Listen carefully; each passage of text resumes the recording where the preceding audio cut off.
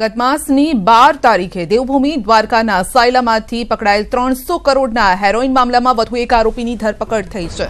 ગુજરાત ઈટીએસે જમ્મુ કાશ્મીરના અનંતનાગમાંથી આરોપીને ઝડપી લીધા છે. આરોપી નઝીર ત્રણ વખત ગુજરાત આવ્યો હતો અને ગુજરાતમાંથી ત્રણસો કિલો હેરોઇનનો જથ્થો લઈ ગયો હતો.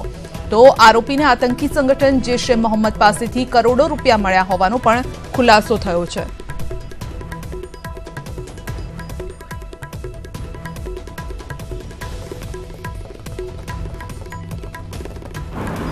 જમ્મુ કાશ્મીર રાજ્યના અનંતનાગ જિલ્લામાંથી એક આરોપીને અટક કરવામાં આવેલું છે.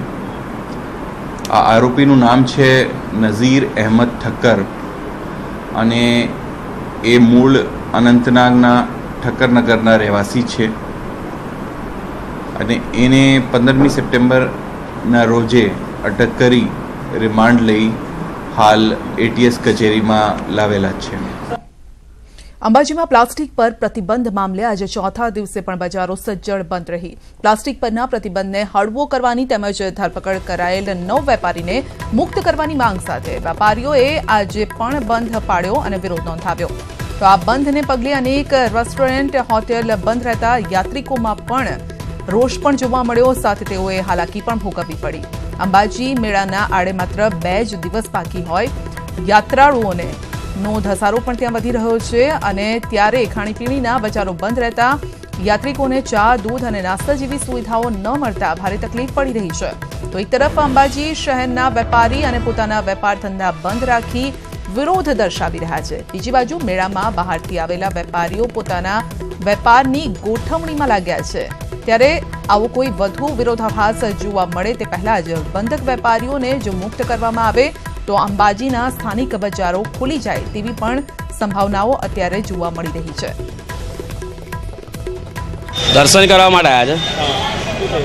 સવારથી ફરે છે છોકરાઓ દૂધ દૂધ વગર કાઢના થઈ, કંઈ ભૂખે નાસ્તાનો કોઈ ઠેકાણો નહીં, કશું જ નહીં. ગારા છ વાગ્યા છે વડોદરાના કરજણમાં યુવકના આપઘાત મામલે બંધનું એલાન અપાયું છે આજના કેસમાં કોર્પોરેટર મોહમ્મદ સિંધી સહિત ચાર લોકો પર આપઘાત માટે દુષ્પ્રેરણાનો આરોપ લગાવાયો છે જેમાંથી ત્રણ લોકોની પોલીસે અટકાયત કરી લીધી છે જોકે ભાજપના કોર્પોરેટર મોહમ્મદ સિંધીની હજુ સુધી અટકાયત ન થતા મૃતકના પરિવાર સહિત સ્થાનિકોએ કરજણ બંધનું એલાન આપ્યું છે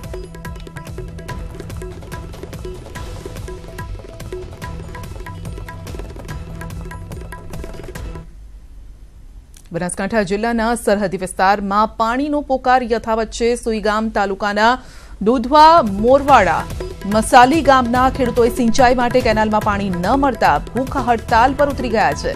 દસ જેટલા ગામના સો ખેડૂત આગેવાનો સુઈગામ પ્રાંત કચેરીએ જઈ અને જ્યાં સુધી સિંચાઈનું પાણી ન મળે ત્યાં સુધી ભૂખ હડતાલ કરશે. તે પ્રકારની જાહેરાત પણ તેઓએ કરી છે.